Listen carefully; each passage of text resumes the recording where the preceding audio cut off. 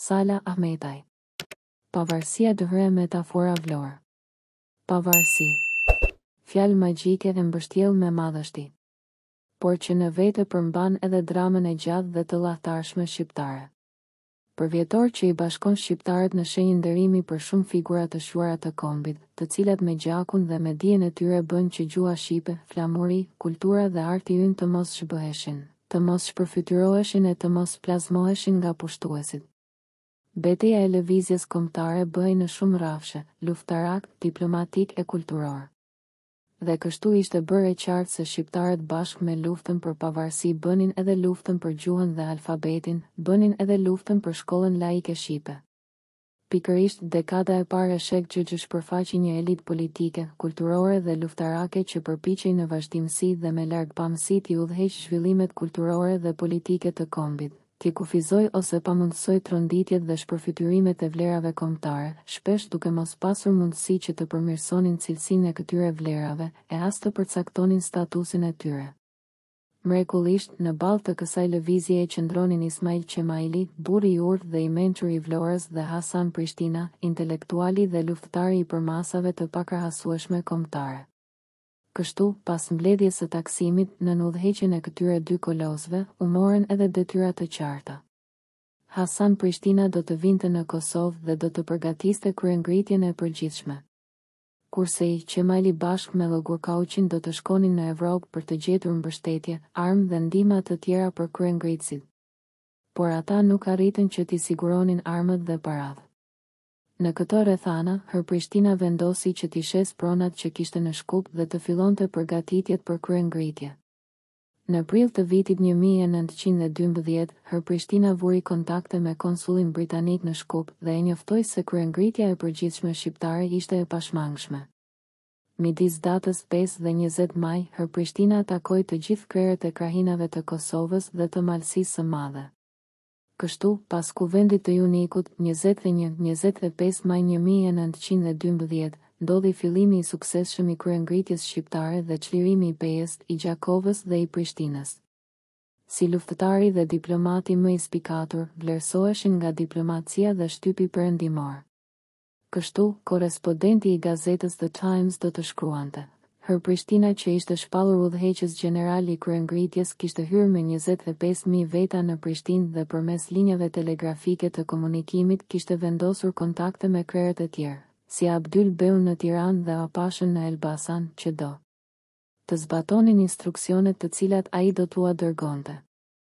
The Times London, July twenty third, një mijë e nëntëqind e dymbëdhjetë. Me këto fitore i paraqiti kushte komisionit të qeverisë turke të ardhur nga Stambolli. Kërkesa më e rëndësishme e Her Prishtinës ishte që të njihen zyrtarisht kufijtë e Shqipërisë etnike. Kërkesat e tjera nuk po i përmendim. Kurse hyrja triumfale në Shkup ishte fitore e rëndësishme që i detyroi turqit të pranonin kushtet e kryengritësve shqiptarë. U çliruan shumë territore nga Turqia. Por ndodhi përmbysja e rëndë dhe fatale, Lufta Ballkanike. Tokat shqiptare të çliruara rishtazi u ripushtuan nga shtetet fqinje edhe për shkakun e indiferentizmit të fuqive të mëdha ndaj këtyre zhvillimeve. Në këto rrethana aspak të favorshme për shqiptarët u shpall pavarësia në Vlorë. Dhe ajo u shpall vetëm në një copëz Shqipëri. Copëzat e tjera si Kosova, që ishte zemra dhe shpirti i kryengritjeve për çlirim, Shkupi etj, u ripushtuan nga ushtritë ballkanike. Ironike, por edhe tragjike është edhe rruga e gjatë biblike e Isa Boletinit që të merrte pjesë në shpalljen e pavarësisë dhe të përulej para flamurit kombëtar bashkë me shumë luftëtarë nga Kosova. Ky flamur dhe kjo liri qenë të ndaluara për njëqind vjet në tokën e tij, sepse kjo gjysmë Shqipëri asnjëherë s'arriti të bëhej e plotë. Reale. E vërtetë. Por Shqipëria natyrale vazhdoi të jetojë vetëm në ëndrrat dhe në imagjinatën e shqiptarëve të robëruar. Simboli dhe metafora Vlorë u bënë frymëzim dhe u shpërfaqën me idealizëm te shqiptarët, të cilët historia dhe fati i dënoi të jetonin jashtë kufijve të Shqipërisë-shtet. Pra, shqiptarët i jetonin disa Shqipëri, njëra imagjinare dhe e pandarë, kurse tjetra reale, e vogël, e ligë që Vlorën as e madhëronte e as e idealizonte. Dhe së cilës i mjaftonte vetvetja e tillë çfarë ishte, pa fuqi, pa ndikim, pa strategji kombëtare për korrigjim të historisë.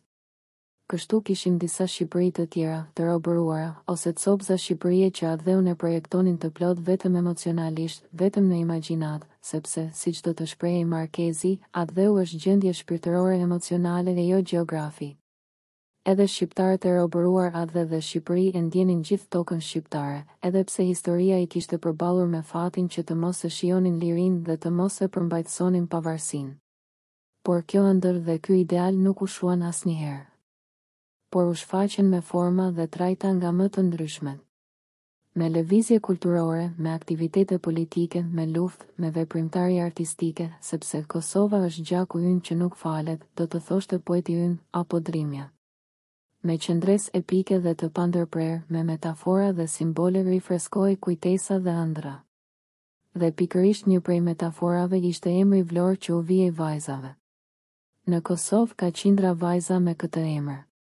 Kështu, metafora Vlorë vazhdonte të frymëzonte njerëzit në një mënyrë të veçantë, duke dashur që ta sillnim Vlorën midis nesh. Në shtëpi. Në familje. Në shkollë e kudo. Qoftë edhe vetëm si emër që ka simbolikën e pavarësisë dhe të Shqipërisë natyrale.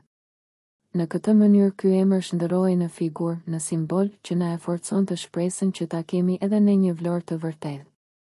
Një Vlorë që do të rilindej e të rishfaqej duke u shtrirë në Kosovë, në qenien tonë si liri, si pavarësi, jo imagjinare çfarë e kishim, por reale dhe Pavarësia dhe metafora Vlorë.